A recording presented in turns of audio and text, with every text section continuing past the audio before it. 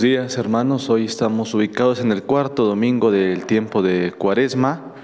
Eh, La liturgia dice que en el cuarto domingo los ornamentos propios son los color rosa, eh, por la alegría que se acerca ya a celebrar las fiestas de la Pascua. Pero también la liturgia dice que en este domingo es el único domingo en donde se pueden poner flores en el altar.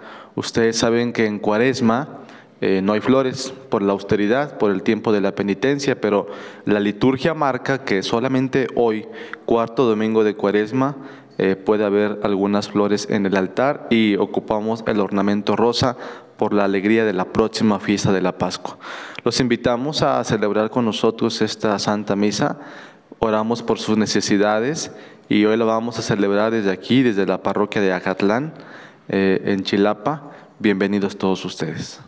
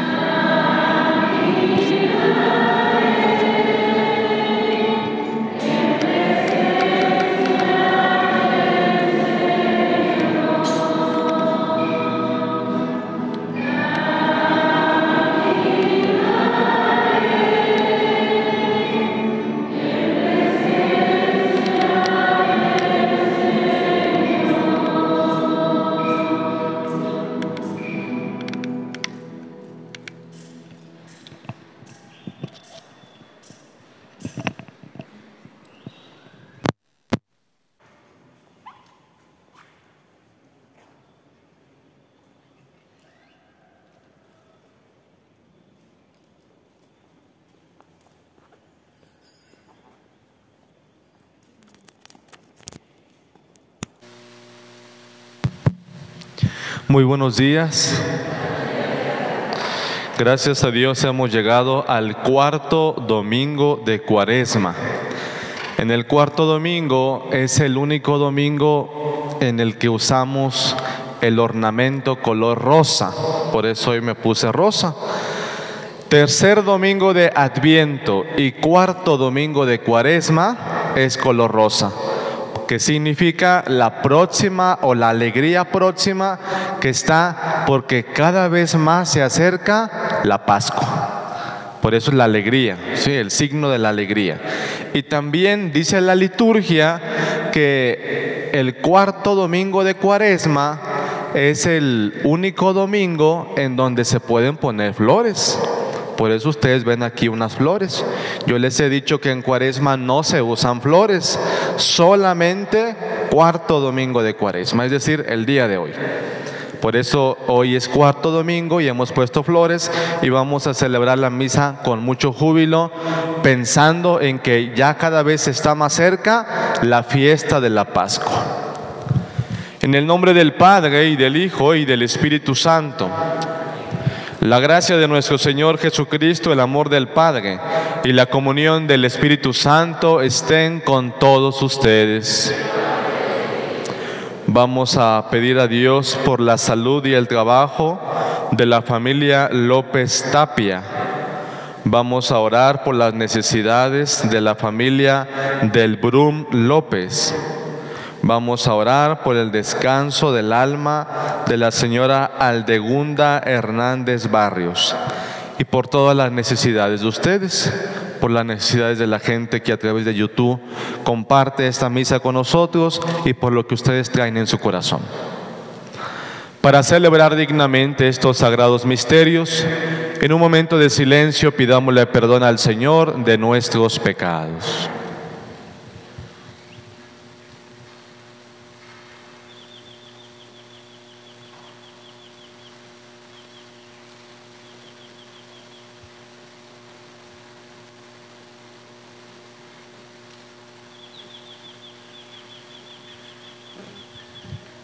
Digamos juntos, yo confieso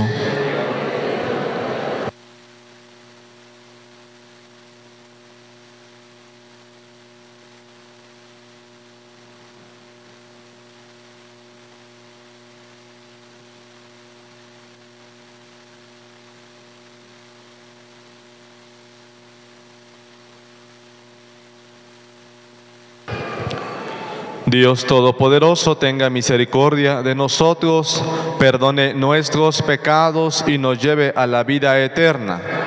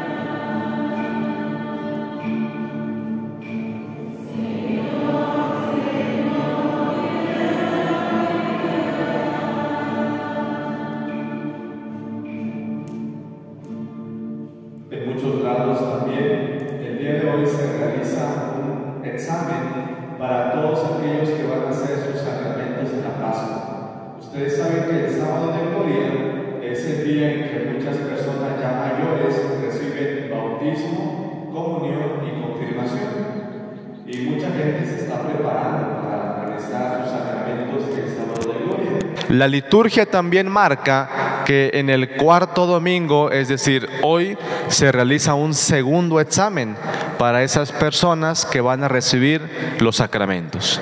Por eso hoy vamos a orar por muchas personas que en diferentes parroquias se están preparando para recibir sus sacramentos en la vigilia pascual. Oremos. Señor Dios, que por tu palabra realizas admirablemente la reconciliación del género humano, concede al pueblo cristiano prepararse con generosa entrega y fe viva a celebrar las próximas fiestas de la Pascua.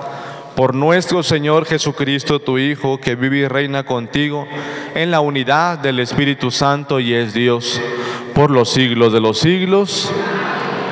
Tomen asiento.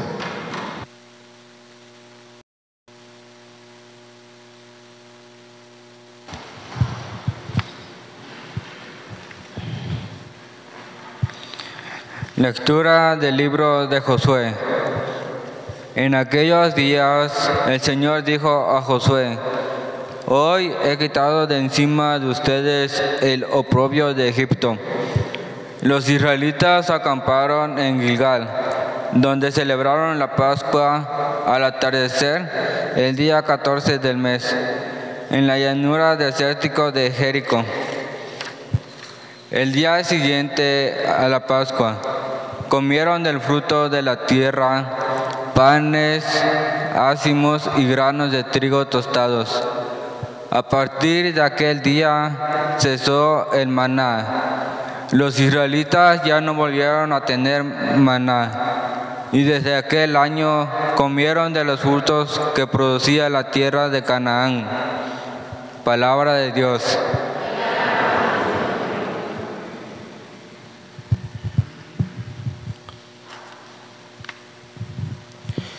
Haz la prueba y verás qué bueno es el Señor.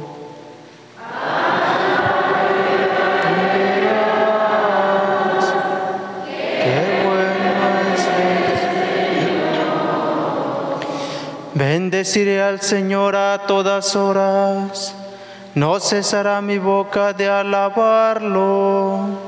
Yo me siento orgulloso del Señor, que se alegre su pueblo al escucharlo.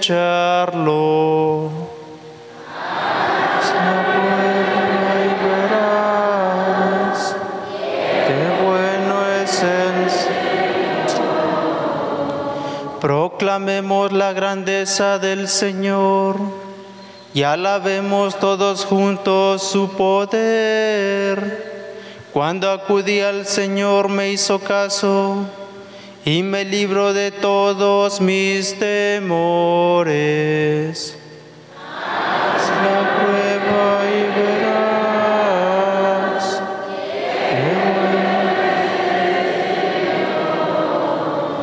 Confía en el Señor y saltarás de gusto. Jamás te sentirás decepcionado porque el Señor escucha el clamor de los pobres y los libra de todas sus angustias.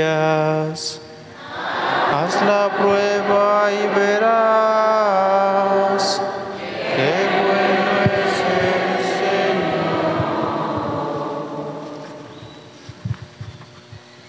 De la segunda carta del apóstol San Pablo a los Corintios. Hermanos, el que vive según Cristo es una criatura nueva. Para él todo lo viejo ha pasado, ya todo es nuevo. Todo esto proviene de Dios, que nos reconcilió consigo por medio de Cristo y que nos confirió el ministerio de la reconciliación. Porque efectivamente en Cristo Dios reconcilió al mundo consigo y renunció a tomar en cuenta los pecados de los hombres. Y a nosotros nos confió el mensaje de la reconciliación. Por eso, nosotros somos embajadores de Cristo y por nuestro medio es Dios mismo el que los exhorta a ustedes. En nombre de Cristo les pedimos que se reconcilien con Dios. Al que nunca cometió pecado, Dios los hizo pecado por nosotros, para que, unidos a Él, recibamos la salvación de Dios y nos volvamos justos y santos. Palabra de Dios.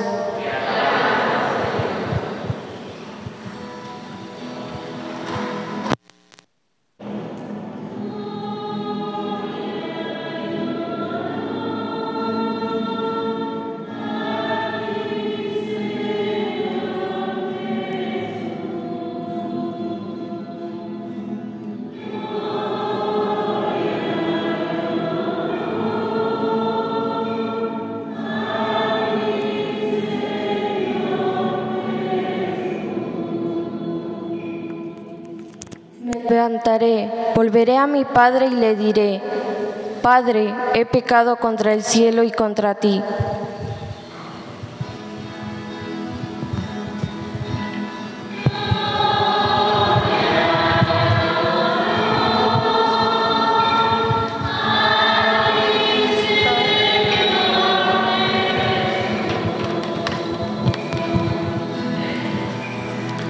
El Señor esté con ustedes. Proclamación del Santo Evangelio según San Lucas.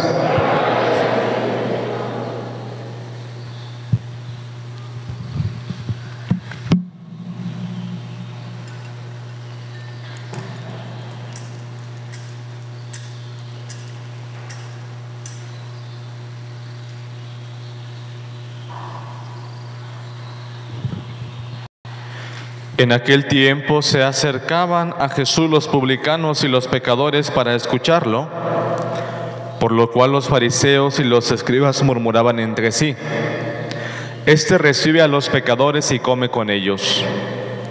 Jesús les dijo entonces esta parábola. Un hombre tenía dos hijos y el menor de ellos le dijo a su padre, Padre, dame la parte de la herencia que me toca. Y él les repartió los bienes. No muchos días después el hijo menor, juntando todo lo suyo, se fue a un país lejano y allá derrochó su fortuna, viviendo de una manera disoluta. Después de malgastarlo todo, sobrevino en aquella región una gran hambre y él empezó a padecer necesidad. Entonces fue a pedirle trabajo a un habitante de aquel país, el cual lo mandó a sus campos a cuidar cerdos. Tenía ganas de hartarse con las bellotas que comían los cerdos, pero no la dejaban que se las comiera. Se puso entonces a reflexionar y se dijo, ¿cuántos trabajadores en casa de mi padre tienen pan de sobra y yo aquí me estoy muriendo de hambre? Me levantaré, volveré a mi padre y le diré, Padre, he pecado contra el cielo y contra ti. Ya no merezco llamarme hijo tuyo. Recíbeme como a uno de tus trabajadores. Enseguida se puso en camino hacia la casa de su padre. Estaba todavía lejos cuando su padre lo vio y se enterneció profundamente Corrió hacia él y echándole los brazos al cuello, lo cubrió de besos. El muchacho le dijo, Padre, he pecado contra el cielo y contra ti. Ya no merezco llamarme hijo tuyo. Pero el padre le dijo a sus criados, pronto, traigan la túnica más rica y vístansela. Pónganle un anillo en el dedo y sandalias en los pies traigan el becerro gordo y mátenlo. Comamos, hagamos una fiesta porque este hijo mío estaba muerto y ha vuelto a la vida. Estaba perdido y lo hemos encontrado. Y empezó el banquete. El hijo mayor estaba en el campo y al volver cuando se acercó a la casa, oyó la música y los cantos. Entonces llamó a uno de los criados y le preguntó qué pasaba. Este le contestó, tu hermano ha regresado y tu padre mandó matar al becerro gordo por haberlo recobrado sano y salvo. El hermano mayor se enojó y no quería entrar. Salió entonces el padre y le rogó que entrara, pero él replicó, hace tanto tiempo que te sirvo sin desobedecer jamás una orden tuya. Y tú no me has dado nunca ni un cabrito para comérmelo con mis amigos. Pero eso sí, viene ese hijo tuyo que despilfarró tus bienes con malas mujeres y tú mandas a matar el becerro gordo. El padre repuso, Hijo, tú siempre estás conmigo y todo lo mío es tuyo pero era necesario hacer fiesta y regocijarnos, porque este hermano tuyo estaba muerto y ha vuelto a la vida, estaba perdido y lo hemos encontrado. Palabra del Señor. Tomen asiento.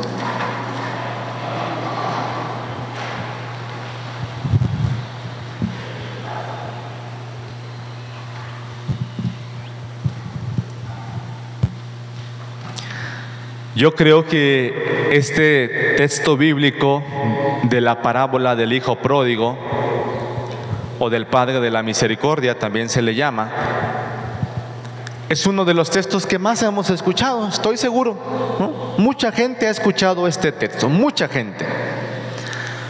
Pero también estoy seguro que mucha gente no ha sabido saborear esta parábola, que es una de las parábolas más ricas e interesantes que existen. Y yo quisiera que la finalidad de esta homilía, que hoy no va a ser muy larga, yo quisiera que la finalidad sea que usted se identifique con un personaje. Vamos a hablar de tres, tres personajes. Vamos a hablar del Padre, vamos a hablar del Hijo Mayor y del Hijo Menor. El Padre es un hombre que tiene dos hijos y que a los dos hijos los ama y que a los dos hijos les da lo que les tiene que dar. Es decir, el Padre es una, es una persona de amor, llena de amor. El Padre representa a Dios. El Hijo menor es el que se aparta del camino de Dios, ciertamente despilfarra todo lo que su Padre le da, pero llega el momento en donde recapacita, se levanta y dice, volveré a la casa de mi Padre. Y le diré, Padre, he pecado contra el cielo y contra ti. Aunque el hijo se hace víctima, se hace víctima porque dice, trátame como uno de tus criados. El hijo se siente víctima, pero al menos recapacita. Y el hijo mayor es ese hijo que se cree que nunca ha fallado, que se cree una persona perfecta, que dice, Padre, toda la vida he estado contigo, siempre te he obedecido y tú nunca me has dado un cabrito para comérmelo con mis amigos. Es un hijo celoso porque no le gusta que otra persona reciba el perdón. Estos son tres personajes. Ahora vamos a trasladarlos al contexto social de la iglesia. Miren, hay mucha gente dentro de la misma iglesia que no le gusta ver que personas que se han levantado, que han tenido un, pasado feo, pero que se han levantado, estén en la casa de Dios. Y hay muchas personas que son como el hijo mayor, que cuando ven a alguien que era borracho, que cuando ven que una persona era prostituta, que cuando ven que una persona andaba en malos pasos y lo ven en la casa de Dios sirviendo, pues no va a faltar la persona que va a decir, ¿ese? Pero si era así, yo lo conocí borracho, yo lo conocí adúltero, yo lo conocí mujeriego. Ese va a estar dando catecismo, ese va a estar cantando en el coro, ese va a estar de ministro, ese. Pero si era así. Y hay muchas personas que son muy buenas para juzgar. Y esas personas que juzgan a los demás, quiero decirles que son el hijo mayor. Que no les gusta ver que una persona se arrepienta y venga, porque se sienten celosos. Porque dicen, pues si yo toda la vida me he portado bien, ¿Cómo es posible que yo, que toda la vida le he echado ganas, que toda la vida me he portado íntegramente, ahora venga una persona y quiera ocupar el lugar que yo con tanto sacrificio me he ganado? Esa gente que critica a los demás porque quizá llevaron una vida mala, pero se levantaron y se dieron cuenta del error que estaban haciendo. Y dice, me levantaré, ahí está la clave, la palabra es me levantaré. No se quedó allí, no se quedó en su pecado, no, cambió su vida. Me levantaré e iré a mi Padre, es decir, iré a Dios. Por eso les decía, el Padre es Dios. Y nosotros tenemos que ocupar o el Hijo que se levanta y se convierte, o el hijo celoso que no quiere que otros se acerquen y que no quiere que reciba la misericordia de Dios. ¿De cuál seremos nosotros? ¿De cuál creen que seamos? De los que nos levantamos porque hemos llevado una vida no tan grata a los ojos de Dios, pero nos hemos levantado y vamos hacia Dios? ¿O de los que nos, ponemos celosos cuando vemos que una persona que llevaba una vida mala de repente cambia y hoy en día está sirviendo en la casa de Dios? Porque los pueblos son muy buenos para criticar eso, ¿o no? Los pueblos son buenos. Oye, pero yo lo conozco. Pero si él es así, mira, vive aquí, se comportaba así, ¿cómo es posible que hoy en día esté ahí en la casa de Dios sirviendo? ¿Cómo es posible que hoy en día esa persona quiera ser parte de un grupo? No, no, no, no, que se vaya, que se vaya. Aquí no lo podemos recibir. Y hay gente que es muy buena para señalar y para apuntar. Y no le da la oportunidad de cambiar. Si usted es así, déjeme decirle que usted es como el hijo mayor, que usted es una persona celosa, que no le gusta ver que Dios demuestre su misericordia con los demás, porque se siente que usted solamente es el único digno. Ay, yo, yo me he portado bien toda la vida. Y yo solamente soy digno de estar en la casa de Dios. Los demás no. Los demás excluyanlos. Los demás que se vayan. Ellos no. Pero a lo mejor alguno de nosotros ha tenido la experiencia de levantarse y de cambiar. Hoy en día, el Papa Francisco, así se le conoce como el Papa de la Misericordia. ¿Por qué? Porque el Papa Francisco en tantos discursos que él ha hecho,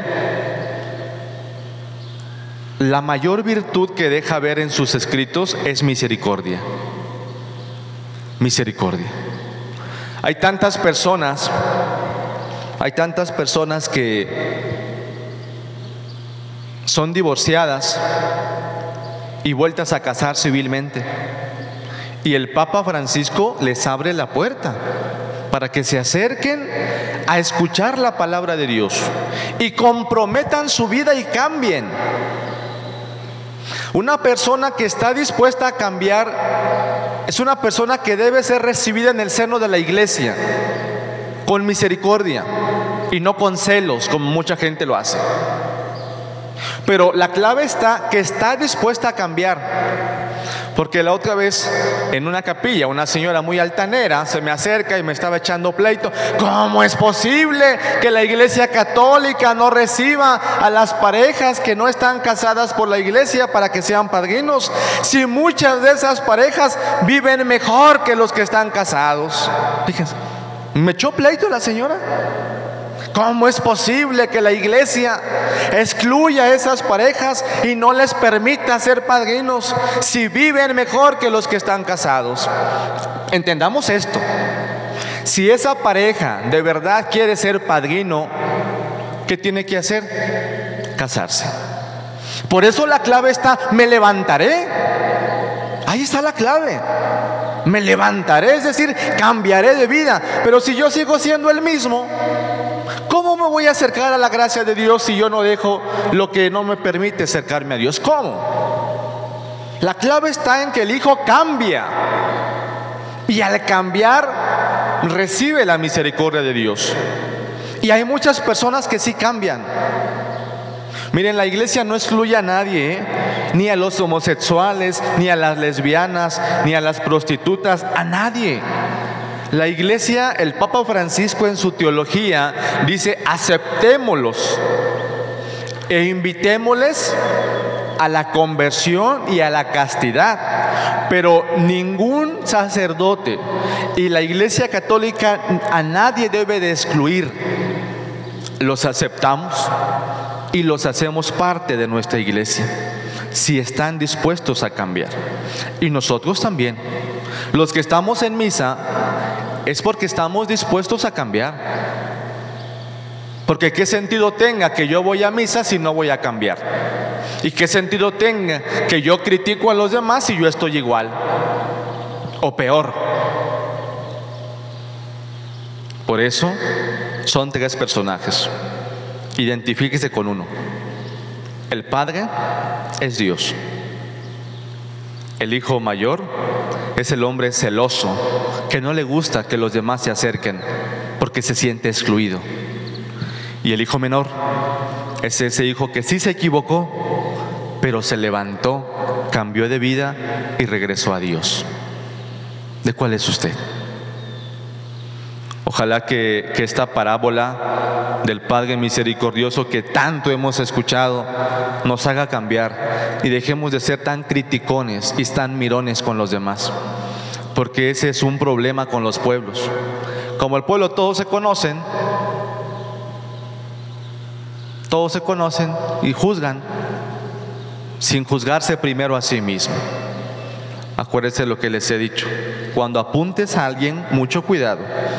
Porque tú apuntas a alguien, pero tú haces esto. Y cuando tú apuntas a alguien, estás apuntando dos dedos para esa persona, pero tres dedos se te están regresando a ti. Eso quiere decir que lo que tú ves más en alguien, también está en ti. El problema es que en ti no lo aceptas y solo ves en lo demás. Pero en ti, como hay personas que se creen santas, se creen tan puras, se creen que son las únicas dignas de estar en la casa de Dios y de hacerlo, porque solamente yo puedo, porque a mí me lo enseñaron, porque toda la vida lo he hecho yo. Estás mal si piensas así, estás muy mal y no sabes lo que es misericordia. Y si tú no tienes misericordia, Dios tampoco tendrá misericordia de ti.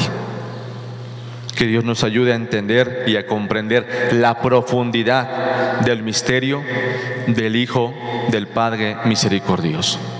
Pónganse de pie. Digamos juntos, creo en un solo Dios.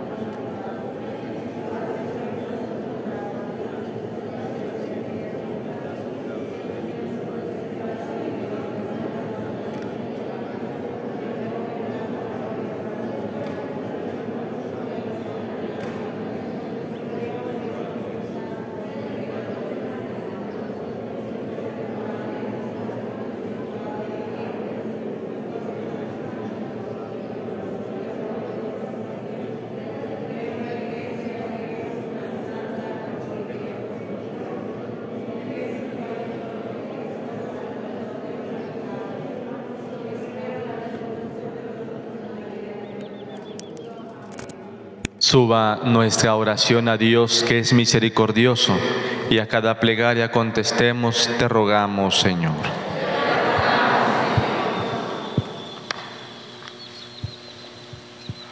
Por el Papa, por los obispos que con entrega generosa sirven a la Iglesia.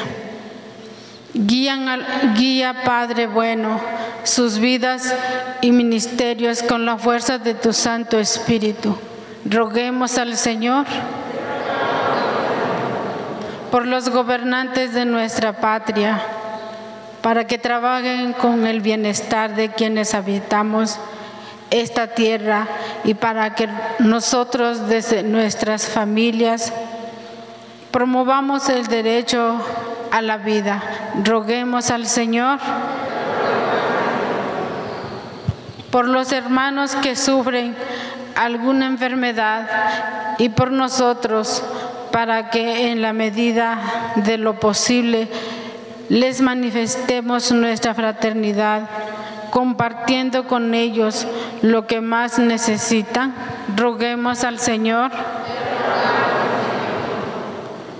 por nosotros que nos hemos reunido en torno a tu altar para que la abundancia de gracia que aquí hemos recibido se transformen en acciones concretas de servicio y amor. Roguemos al Señor. Todo esto, Señor, y lo que hay en nuestros corazones, te lo pedimos a ti, que vives y reinas por los siglos de los siglos. Amén. Tomen asiento.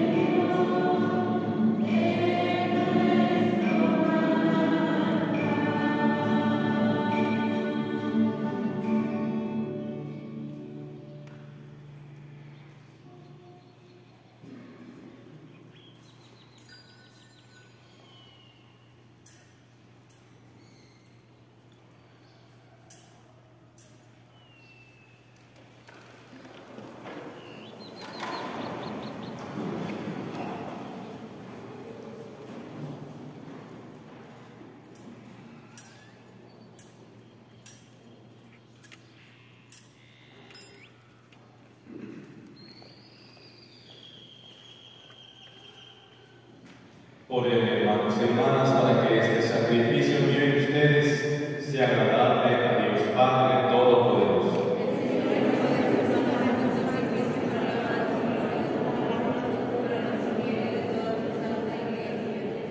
Oremos.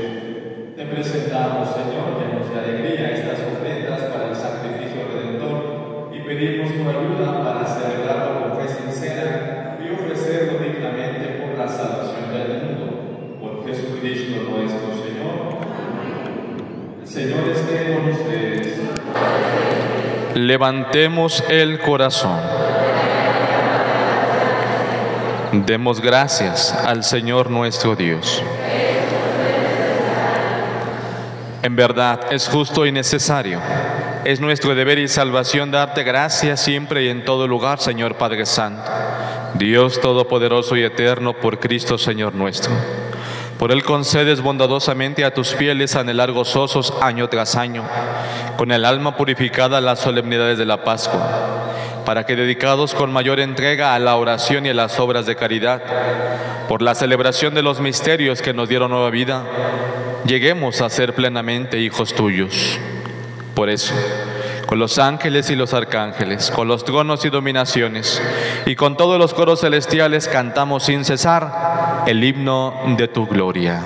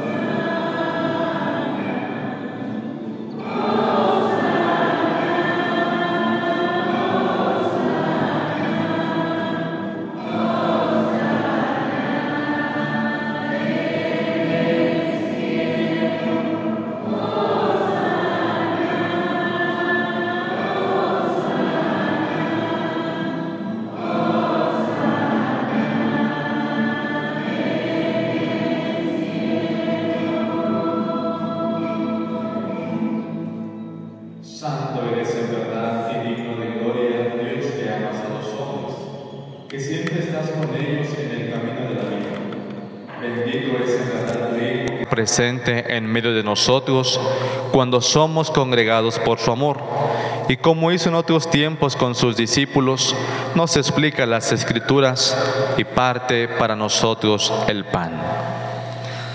Por eso te rogamos, Padre misericordioso, que envíes tu Espíritu Santo para que santifiques estos dones de pan y vino, de manera que se conviertan para nosotros en el cuerpo y la sangre de Jesucristo nuestro Señor, el cual, la víspera de su pasión en la noche de la última cena, tomó pan, te bendijo, lo partió y lo dio a sus discípulos diciendo, tomen y coman todos de él, porque esto es mi cuerpo, que será entregado por ustedes.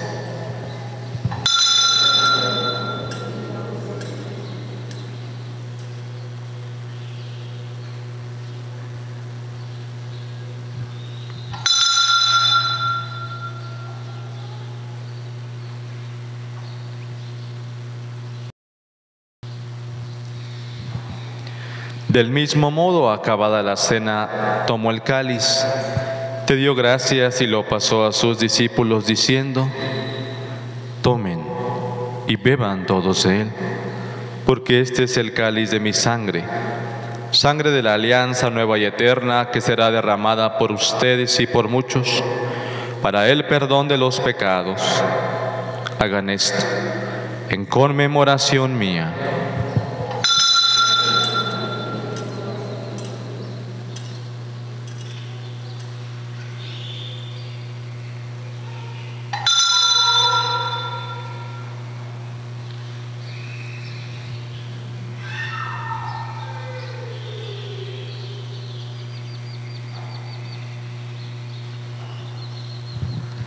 Este es el sacramento de nuestra fe.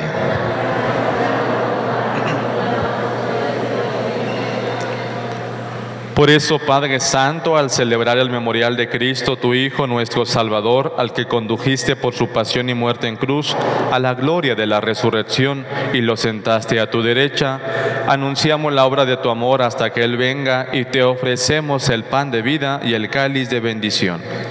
Mira con bondad la ofrenda de tu iglesia en la que se hace presente el sacrificio pascual de Cristo que se nos ha confiado. Y concédenos por la fuerza del Espíritu de tu amor ser contados ahora y por siempre entre el número de los miembros de tu Hijo cuyo cuerpo y sangre comulgamos.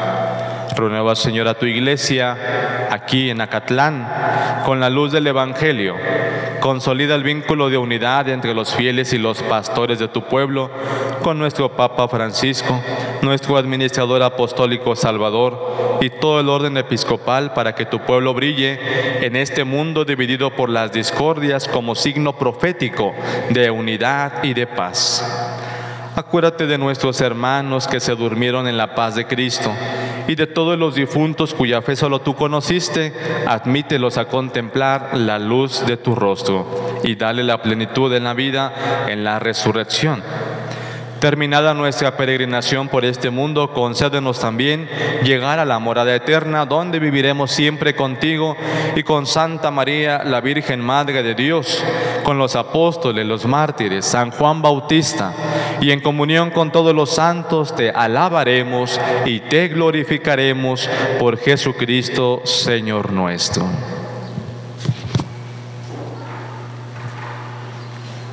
Por Cristo con Él y en Él, a ti Dios Padre Omnipotente, en la unidad del Espíritu Santo, todo honor y toda gloria por los siglos de los siglos.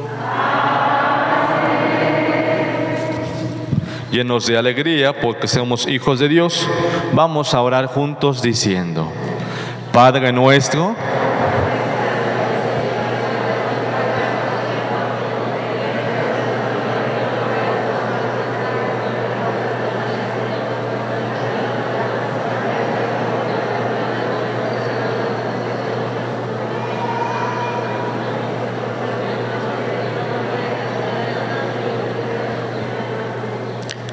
Líbranos de todos los males, Señor, y concédenos la paz en nuestros días, para que, ayudados por tu misericordia, vivamos siempre libres de pecado, protegidos de toda perturbación, mientras esperamos la gloriosa venida de nuestro Salvador Jesucristo.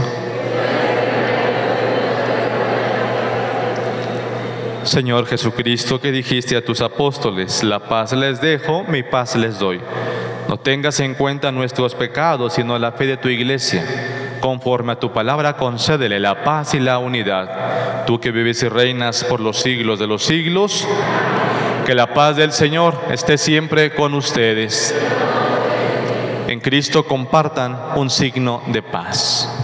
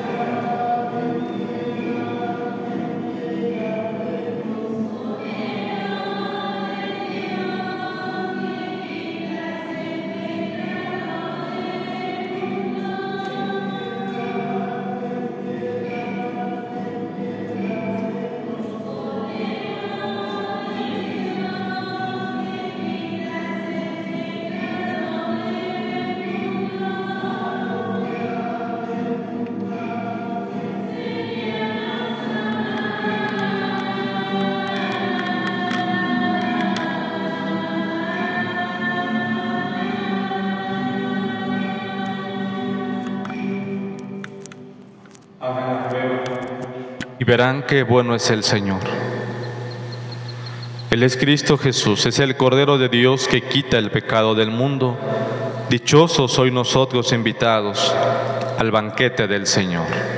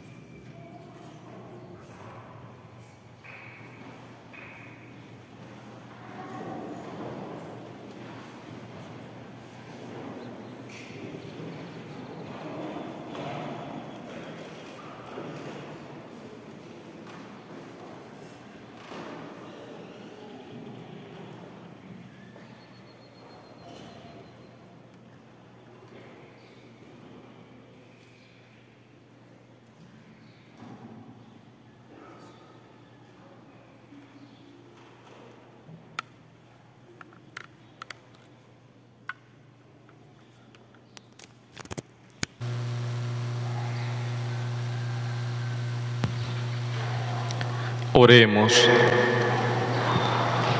Señor Dios, luz que alumbra a todo hombre que viene a este mundo, ilumina nuestros corazones con el resplandor de tu gracia, para que podamos siempre pensar lo que es digno y grato a tus ojos y amarte con sincero corazón. Por Jesucristo nuestro Señor. Saludamos a nuestra Madre, la Virgen, digamos juntos, Dios te salve María, llena eres de gracia, el Señor es contigo. Bendita eres entre todas las mujeres, bendito el fruto de tu vientre Jesús.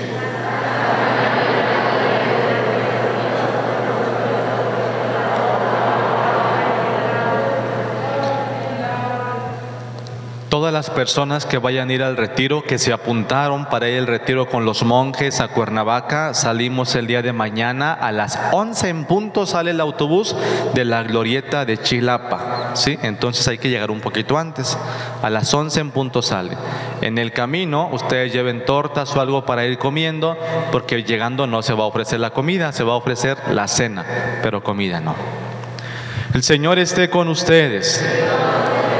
La bendición de Dios Todopoderoso, Padre, Hijo y Espíritu Santo descienda sobre ustedes, permanezca para siempre. Que la alegría del Señor sea nuestra fuerza, podemos ir en paz. Buen domingo, buena semana a todos. Dios les bendiga.